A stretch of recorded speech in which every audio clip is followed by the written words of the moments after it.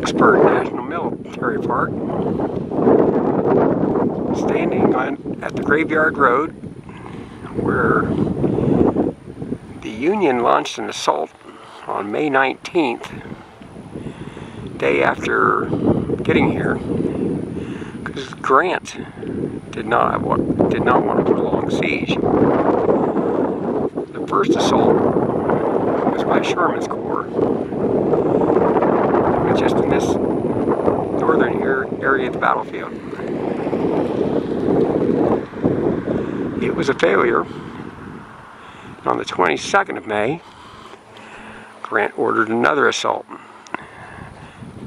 Second assault was a wider assault, involved all three corps of the Union Army. Ran about three miles here on down south. It was a failure also. The